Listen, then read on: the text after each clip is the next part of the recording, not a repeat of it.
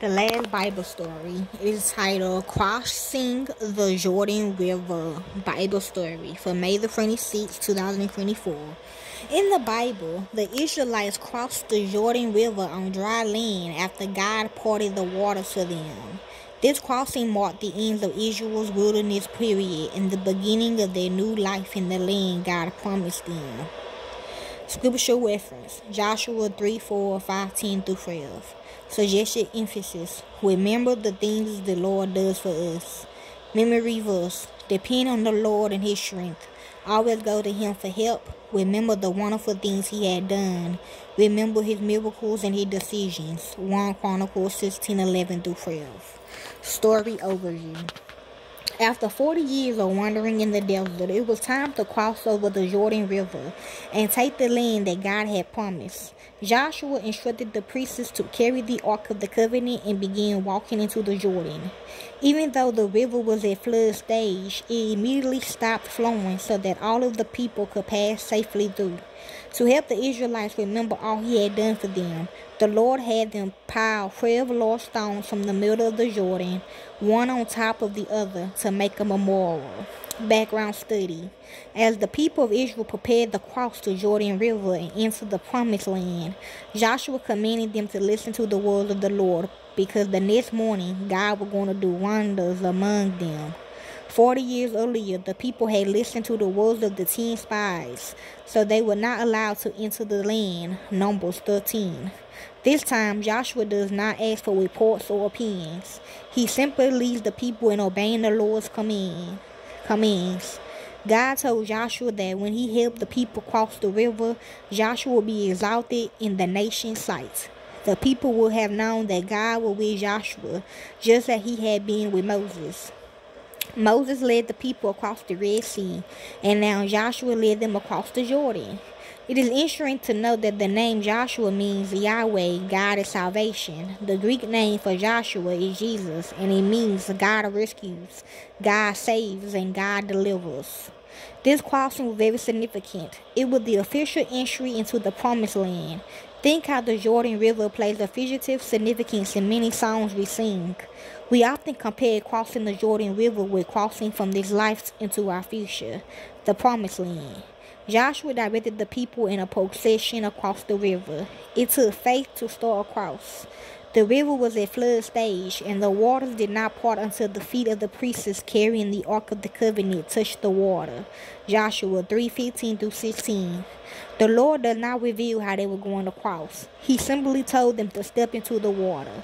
Now that's stepping out in faith. The ark symbolized the presence of the Lord. Having the priests carry the ark in front of the people showed that God was leading them into the new land. After the crossing, Joshua continued to obey God's commands. He loosed 12 stones gathered by one man from each tribe from the dry riverbed to build a memorial. The memorial was to remind Israel what God had done for them. Joshua 4 1 through 7. There are some textual variation concerning the stones and the moment that were built for them. The New Testament speaks of only one moment. It was built at the place where they where they camped, Gilgal. Some versions mention the Gilgal moment, but add that Joshua built a second moment in the middle of the riverbed, where the priests stood with the ark. Joshua 4 9. You might see one or both moments in some picture books or visual aids. Whether there were more than one Mormon or not, today's story be a concern with the Mormon built at the camp where everyone could see it. If there was another Mormon, it would have been covered with water. The Mormon in the camp would have been visible to all, so that children would see it and ask what it meant. What it meant.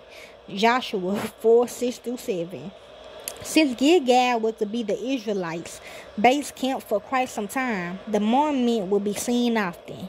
Although not covered in today's session, we find that unfinished business was taken care of at the Gilgal camp, Joshua 5 1 through 9. Circumcision seems to have been ignored since leaving Egypt. The Lord was about to lead his covenant people in possessing the land. He wanted them to fulfill the covenant rite of circumcision, which marked them as his people.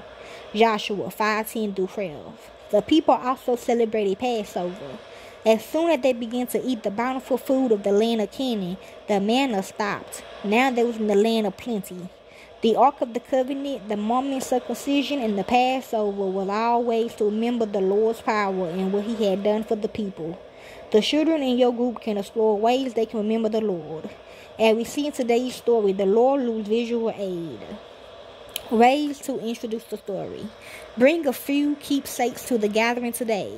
These could be special gifts that belong, that someone had given you, or an item that belongs or belongs to formerly belongs to someone special. A book, photo, letter, an old ticket stub, jewelry, toys, etc. Talk about how you remember that person or the or the event every time you see the item. Ask the children to share some of the things that help them remember someone.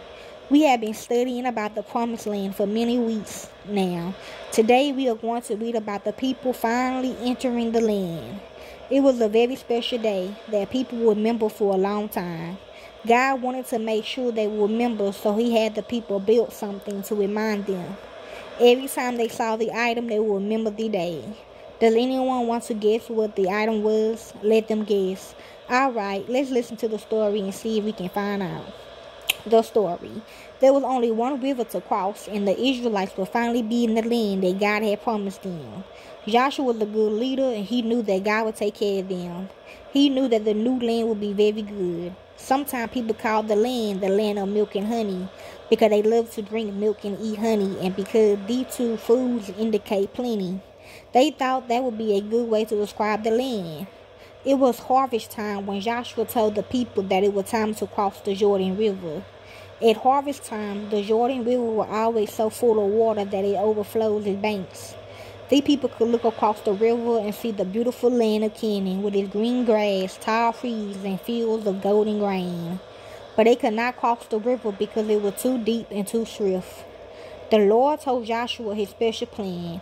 He told Joshua to gather the priests together and have them carry the Ark of the Covenant and walk straight into the Jordan River. The people were to follow them. This must have seemed really scary for everyone, but they obeyed God.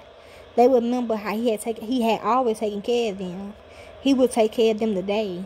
The priests picked up the big gold, the Ark of the Covenant, and started walking toward the water. The water was fast and looked very dangerous, but they just kept walking. Then, then an amazing thing happened. As soon as the priest's feet touched the water, the water stopped flowing. The river dried up wherever the priests walked. It was just like when the Red Sea parted for Moses. They took the ark and carried it to the middle of the Jordan River and then stopped.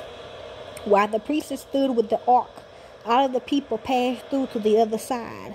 They didn't even get wet. God wanted the people always to remember how he stopped the Jordan River. He told Joshua to choose 12 men, one from each tribe. The men went to the middle of the river where the priests stood and gathered one large stone each. each.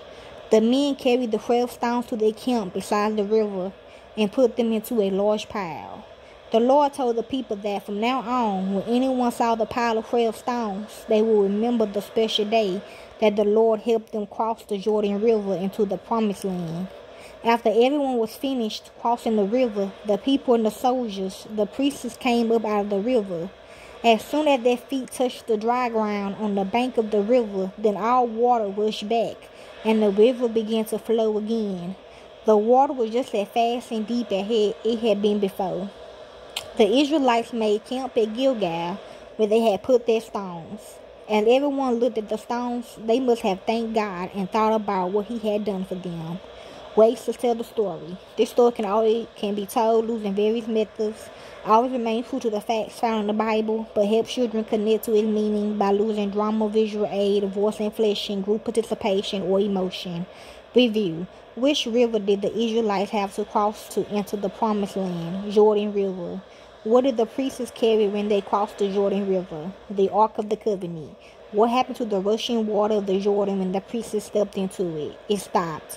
What did the Israelites pick up from the middle of the Jordan River? Twelve stones. Why did the Lord tell Joshua to have the men pile the twelve stones together so they could see it and remember what the Lord had done for them? What did crossing the Jordan River show the Israelites about God? What did cross what did crossing the Jordan River show the Israelites about Joshua? God will with Joshua and will work through him like he worked through Moses. We fled. Imagine the Jordan River. Imagine that the river is flooded and moving quickly. What does the river look like? What does it sound like? 2. God told the priests to step into the Jordan River even though it was flooded. How do you think the priests felt when they stepped into the water? How would you have felt if you were one of the priests and, and told to step into the rushing water? Will you have been afraid? Question mark.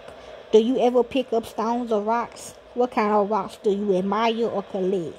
Does this story remind you of another story about the Israelites? Which one and why? God had Joshua pick up stones to make a memorial to remember how God had helped the Israelites cross the Jordan River. What has God done for you or your family that you want to remember? How could you remember this? What was your favorite part of the story? What part of the story did you find more interesting? Song suggestion. My God is so big song, creation song, rise and shine song, hymns such as I won't have to cross Jordan alone. On Jordan's stormy banks I stand. Swing low sweet chariot. Learning activities and crafts. Play a simple word game is an adaptation game in which children from worlds from form words from little tiles. The words related to those in the Bible lessons. Crafts. Make a relief a relief map map of the promised land. It should be dry by next week so that you can paint it. Each week you can add more details as you learn more about the land of Canaan. Paint today's memory verse on a flat stone or find fresh stones to glue together to find a moment. Make a placemat by writing the memory verse on a large piece of paper and decorating it. Cut frail stones shaped out of sandpaper. Children glue the stones on paper to make a remembrance like the Israelites did. Okay, that basically it. Enjoy. Hopefully y'all cross it and stop. Anyway.